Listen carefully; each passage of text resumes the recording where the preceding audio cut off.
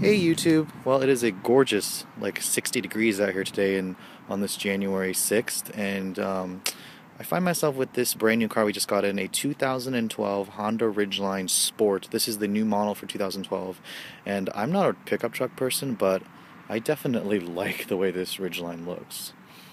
Like if I was gonna buy a truck, it would be black like this, with those rims. In this, I love the grill. I love the way the I love this car as a whole. Like the black just looks great, especially with those rims.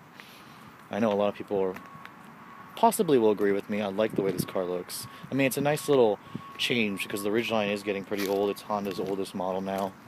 They definitely need to redesign it soon. It needs a chrome exhaust tip, but those rims are really nice. This is the crystal black pearl color. And the Ridgeline is one of the only Honda models that actually says Honda on the back because there's no H badge. Though they could have put an H badge right underneath the taillight um, handle or the tailgate handle handle, excuse me.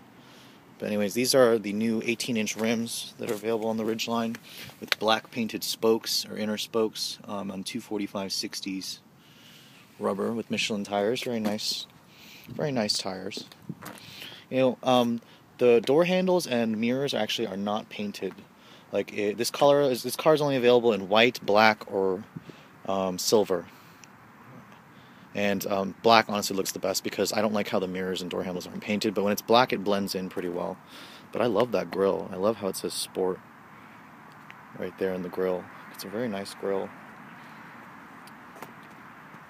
Anyways, this car is actually pretty well priced also. And the gas mileage improved by 1 miles per gallon on the highway to now 21. It used to be 20. And the sticker is only about 30,805. Sorry, you guys are having trouble seeing that. Anyways, here's the interior. Pretty standard Ridgeline stuff. No sunroof, though. That's one thing about it I wish it had.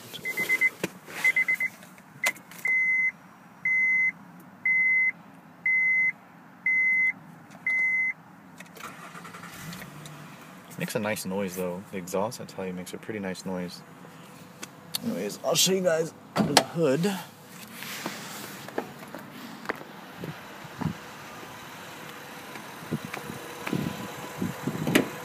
This is Honda's 3.5 liter V6, 250 horsepower, 247 pound feet of torque, and it smells like new engine under here, that's for sure. Anyways, the bed of this truck is what's pretty cool, actually, and it's probably what I want to focus on mostly. Um, tag. The bed actually full opens in two ways. It opens the traditional way, and it even has like a lockable under storage right there, where you get your compact spare. It's where the rubber floor mats are. It's already lined. Um, there's a light in the bed as well, and you can also open the bed from under here. There's another release right here, and it opens from the side right here. So that's pretty cool. Let's put the tag back on. Um, in terms of interior space, the seats fold up just like my Fit.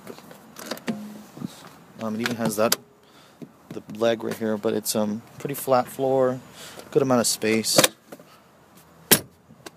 Um, you do get an armrest right here, so it's a pretty comfortable back seat for a truck. The seat does not fold back though, this just lifts up. In terms of materials, this is hard plastic, but it has a nice graining. This is um, padded right here for the armrests. This model at least does come with fog lights at least. Steering wheel, no Bluetooth in here, no XM satellite radio, it's pretty bare. Um, same through with the materials, they follow through, nice graining. The dashboard materials are hard. It's got a very industrial truck feeling, and you can tell this is an old Honda because it's got an actual airbag cover instead of a totally seamless one. You got an aux port right here. I don't believe the Ridgeline actually comes with a USB. I'd have to double check that. I think the RTL with nav may, and that model also includes dual zone automatic climate control. That's just a manual single zone. But anyways, um, let's take this one for a drive. Steering wheel is a little bit thin. It doesn't have any side bolstering extensions. It's got this um, column shifter, five-speed auto. This car.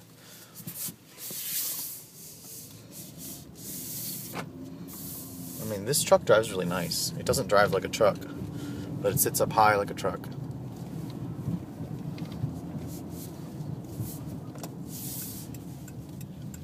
If I was going to have a truck, it'd be this.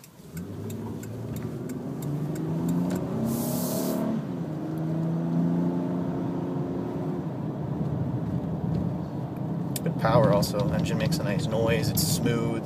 It rides well. Like this is a nice truck. It's too bad that the Ridgeline doesn't sell in the numbers that it could, um, just because it appeals to a very um, small market. I mean, I'm not a truck person, but if I needed a truck, I would buy this. People who are truck people wouldn't buy this. They would go buy an F-150, and I don't blame them. The F-150 is a, a better work truck. But this does give you a smoother, quieter ride. I don't know about quieter, but it's smoother because it's got an all-independent suspension. But then the truck people are complaining because it's not. A truck isn't supposed to have an all-independent suspension. It's supposed to have a body on frame. This is a unibody construction, but I mean Honda just wanted to be different. I mean I like the way this Ridgeline Sport looks though. It's a nice looking truck. Anyways, I'm gonna take this turn over here and then we'll do another acceleration run.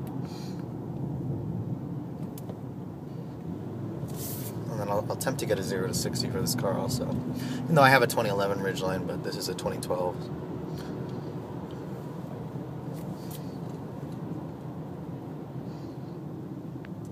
It's a really nice day out today, I'm surprised.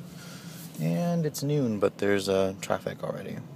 Just great visibility of the road. Like I actually do like sitting up high.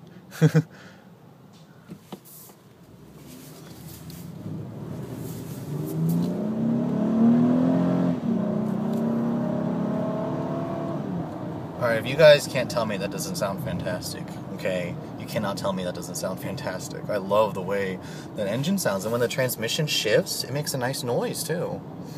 Anyways, guys, um, this is concludes my overview of this brand new 2012 Honda Ridgeline Sport.